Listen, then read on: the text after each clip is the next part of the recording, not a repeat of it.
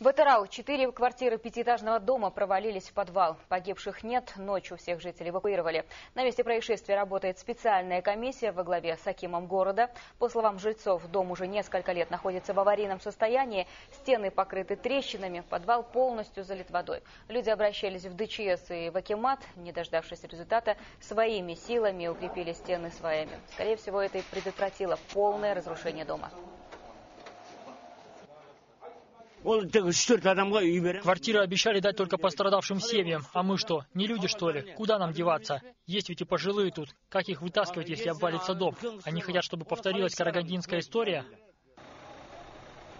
Всех жильцов многоэтажки, а это около 300 человек, разместили в расположенной неподалеку школе. Людей обеспечили питанием. По заключению рабочей комиссии в обрушении виноваты жильцы одной из квартир.